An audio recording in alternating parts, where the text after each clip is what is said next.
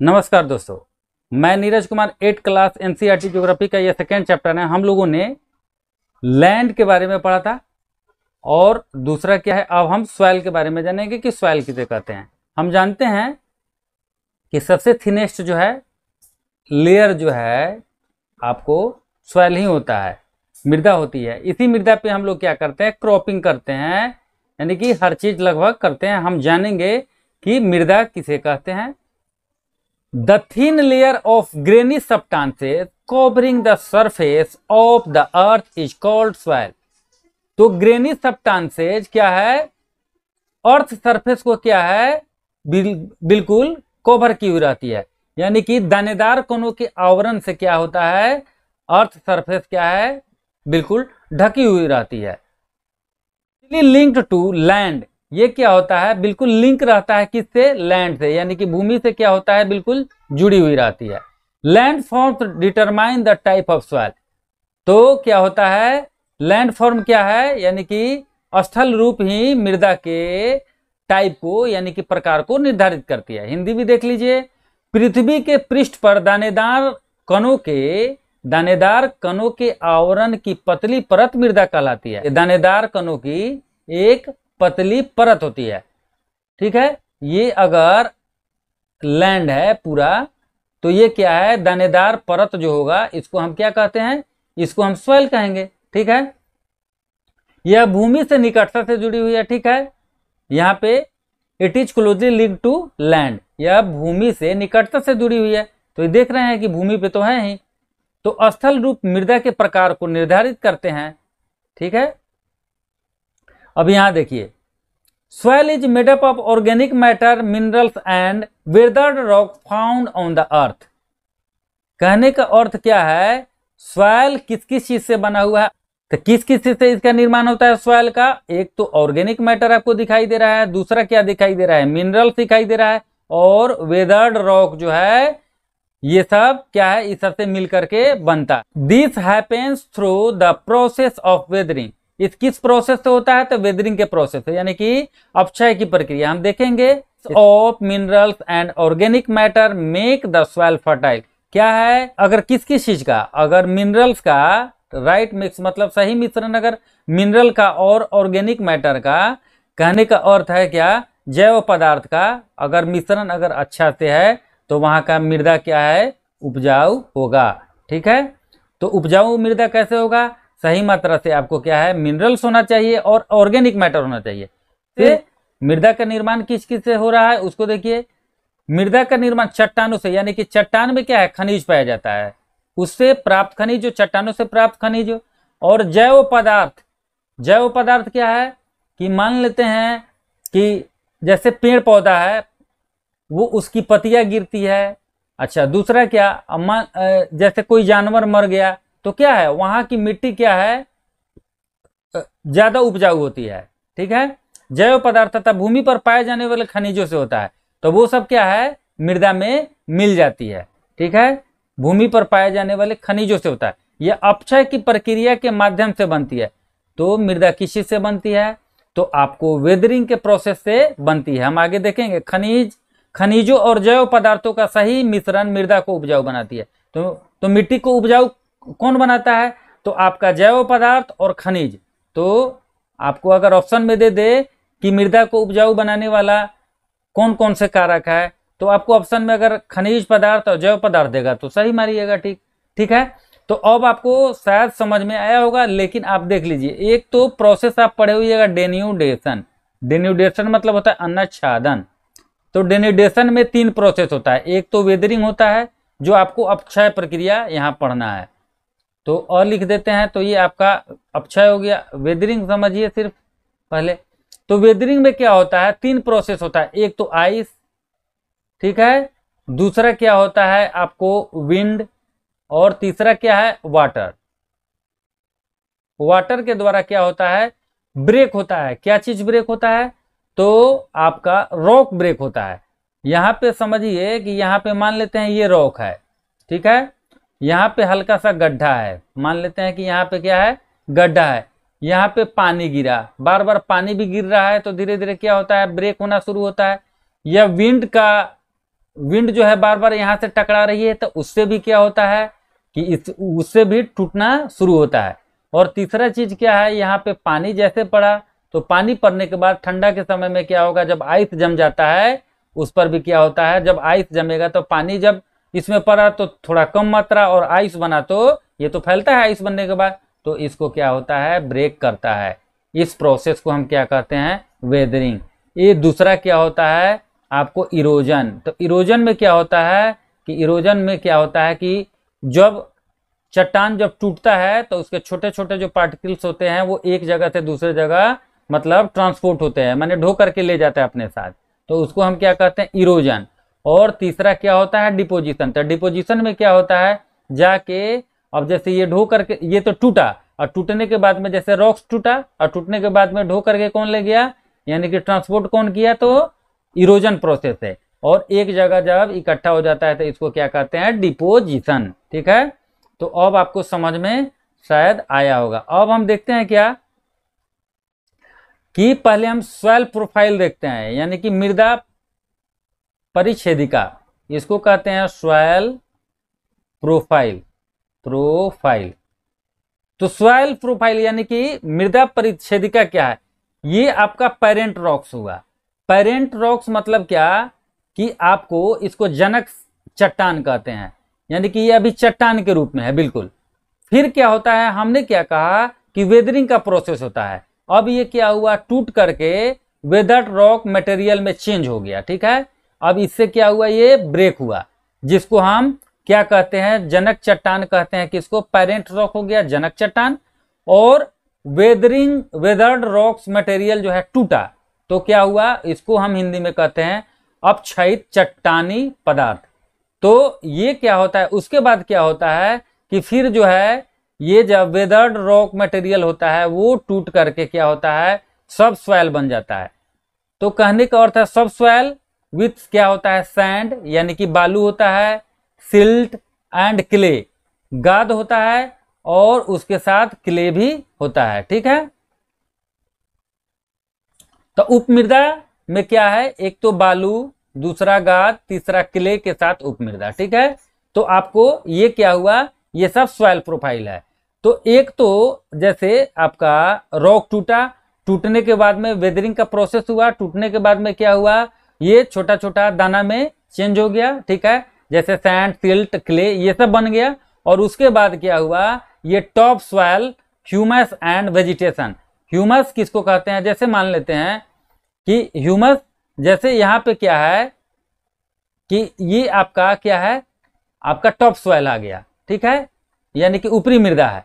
इस पर क्या होता है कि जैसे वेजिटेशन आप कर सकते हैं ये सब, यानी कि आपका सॉइल सैंड सिल्ट ये सब जो है, यहाँ पे रहता है, ठीक है?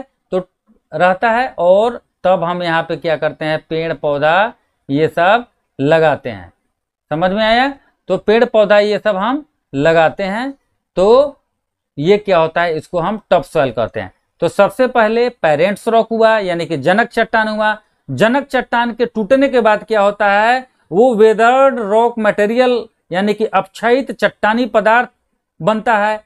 फिर जो है, यानी कि अपक्षय होता है उस चट्टान का, वो चट्टान टूटता है। टूटने के बाद में क्या होता है? सब सॉइल बनता है।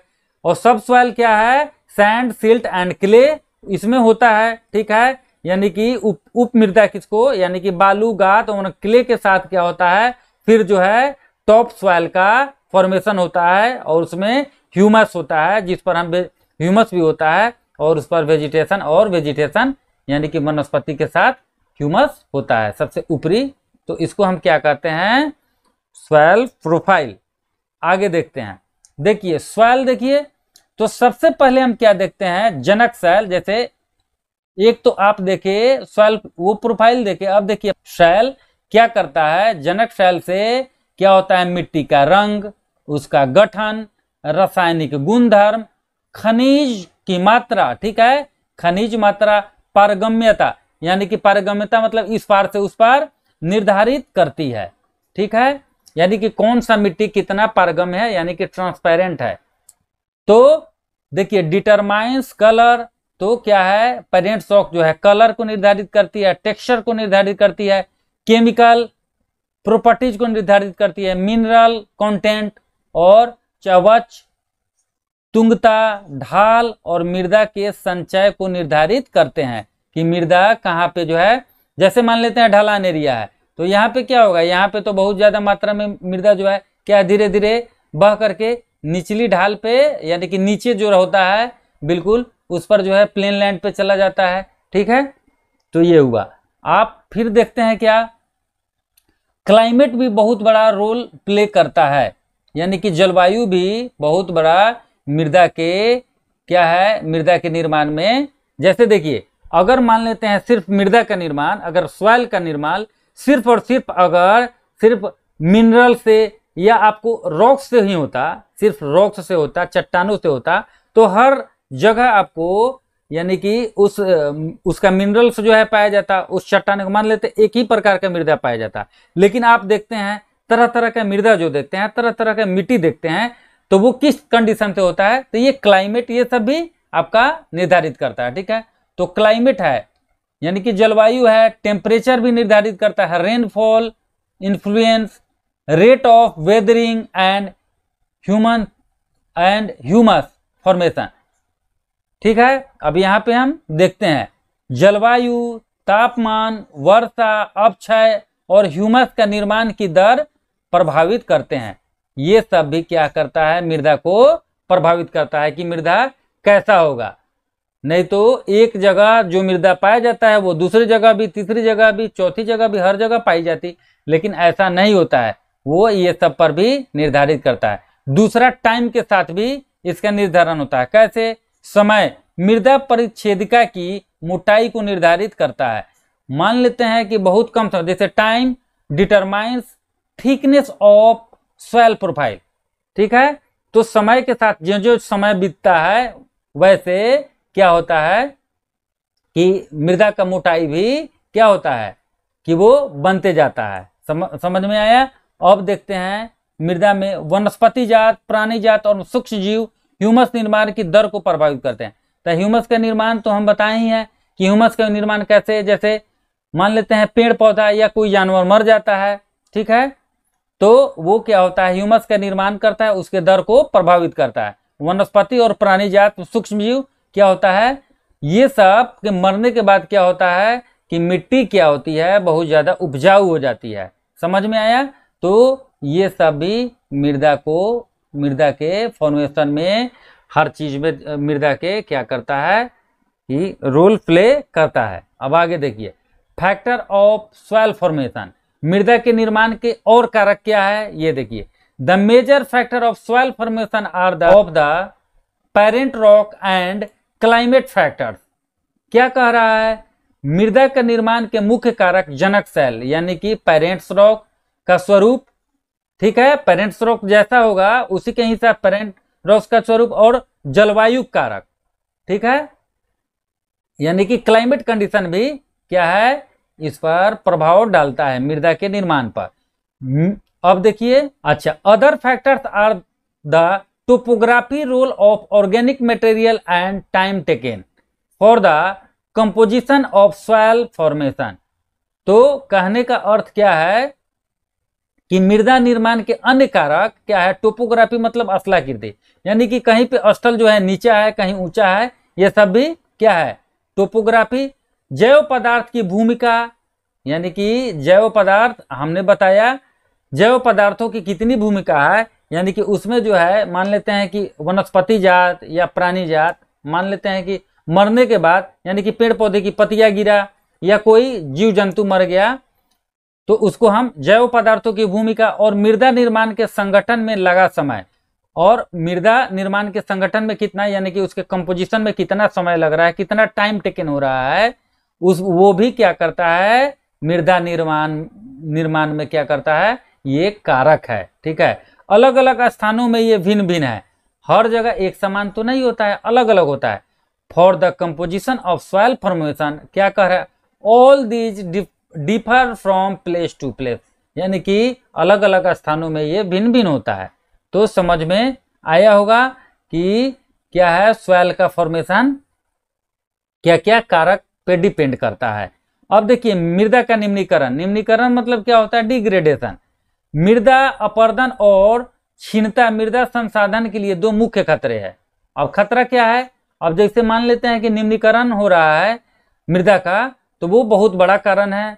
यानी कि कहने का अर्थ क्या है? डिग्रेडेशन हो रहा है। मानवीय और प्राकृतिक दोनों ही कारकों से मृदाओं का निम्नीकरण हो सकता है। तो एक तो मानव जो है हस्तक्षेप कर रहा है पेड़ पौधा इतना काटता है मान लेते हैं कि पेड़ पौधा को ही नष्ट कर दीजिएगा घास को नष्ट कर दीजिएगा ओवरग्रेजिंग करा दीजिएगा ये सब तो देखे थे पिछले कक्षा में। और प्राकृतिक दोनों ही कारकों से मृदाओं का निम्नीकरण हो सकता है। हो सकता है इतना ज़्यादा बाढ़ आ जाए। हो सकता है कि इतना ज़्यादा जो है ना मान लेते हैं कि आ, कोई नेचुरल फेनोमिना हो जिस वजह से मृदा में क्या होता है मृदा को उपजाऊ उपजाने की क्षमता फर्टिलिटी जो है कम हो जाती है। मृदा के निम्नीकरण में सहायक कारक, वनोन्मूलन, ठीक है? अतिचारण, रासायनिक उर्वरकों और कीटनाशकों का अत्यधिक उपयोग, वर्षा दोहन, भूस्खलन और बाढ़ बाढ़ है। मृदा समीकरण क्यों हो रहा है? डिग्रेडेशन क्यों हो रहा है? हम लोग क्या करते हैं? वन का कटाई कर रहे हैं।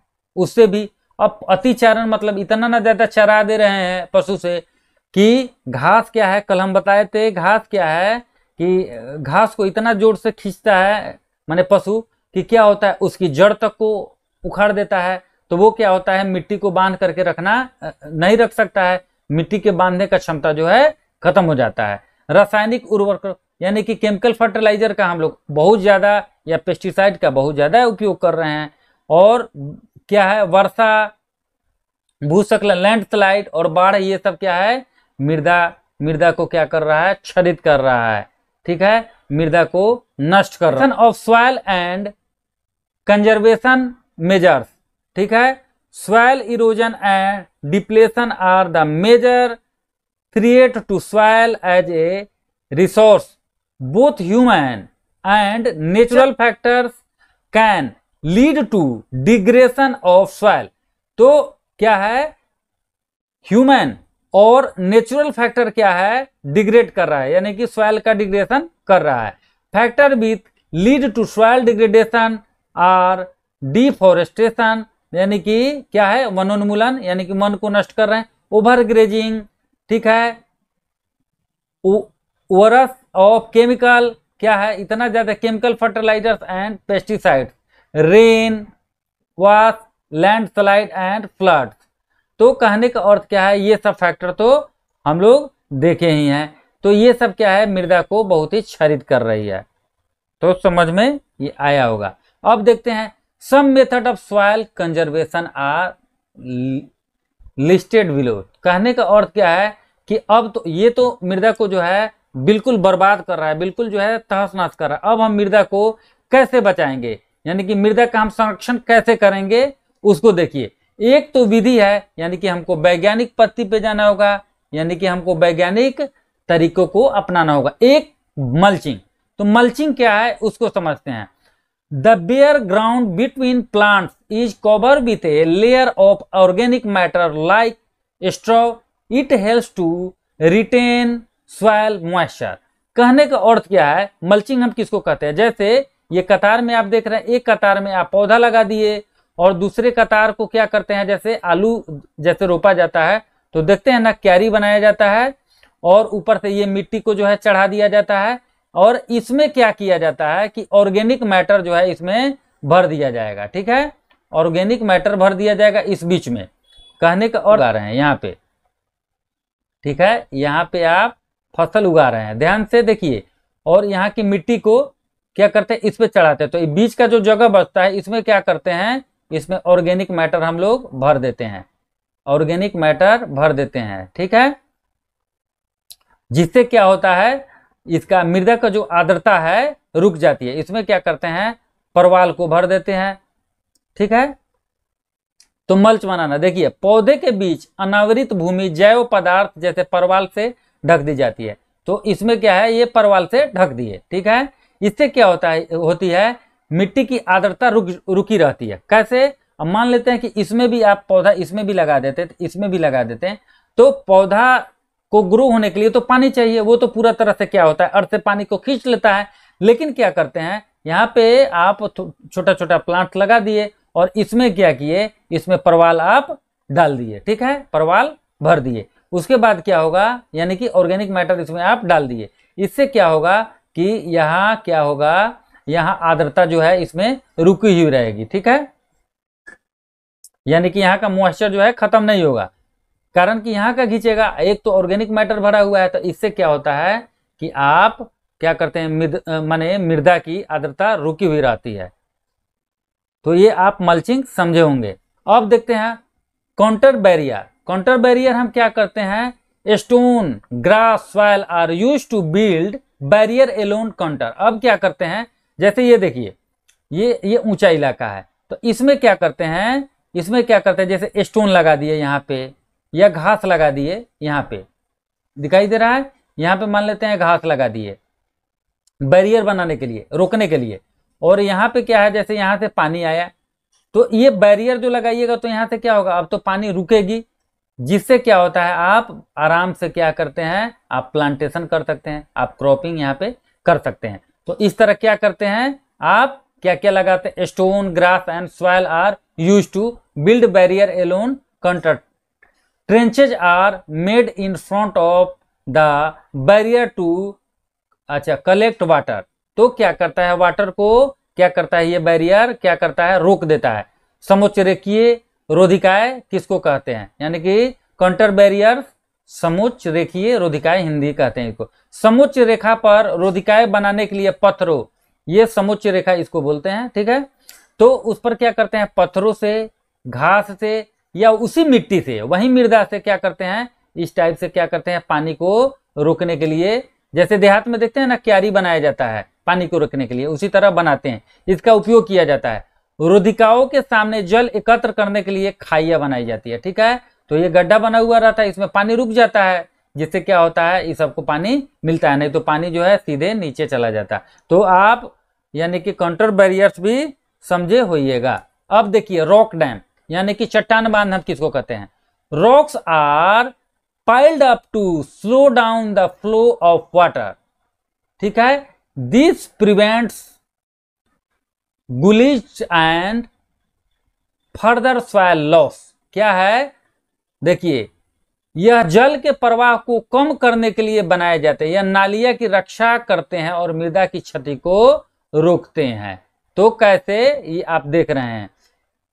यानी कि जल जो है ऊपरी परत से जो है, जैसे मान लेते हैं ढलान वाला एरिया है तो जल तो यहाँ से आएगा तो सड़क से जो है क्या होगा? एकदम जो है, जल्दी जो है, सर से नीचे चला जाएगा। इसीलिए क्या किया जाता है? यहाँ पे रोकने के लिए नाली बनाया जाता है, ठीक है? ऐसे ऐसे करके जो है नाली टाइप का बनाया जाता है जिससे क्या हो एक तो मृदा का क्षति नहीं होता है और दूसरा क्या है कि जल भी क्या है जल का प्रवाह भी आ, कम रहता है कम बना हुआ रहता है ठीक है? तो आप इसको भी चट्टान बन यानी कि रॉक डैम को भी समझे हुईगा टेरेस फ़ार्मिंग अब देखिए वेदिका फॉर्म क्या है?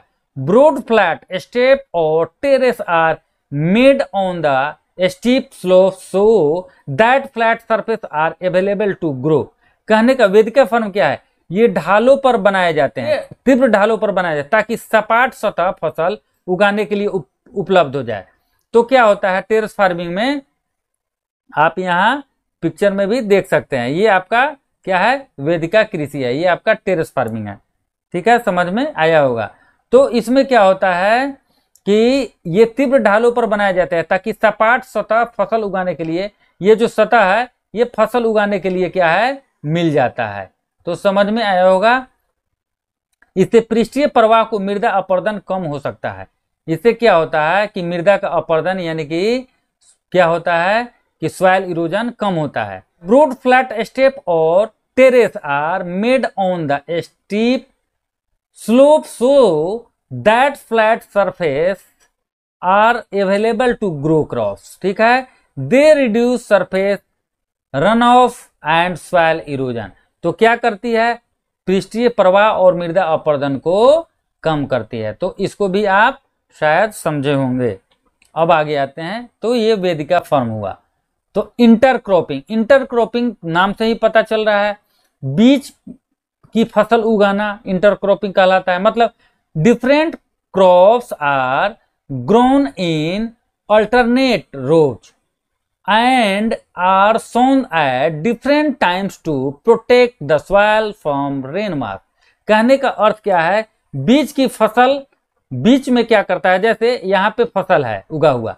तो मान लेते हैं कि गेहूँ है और यहाँ पे क्या हुआ? यहाँ पे सरसों उगा दिए।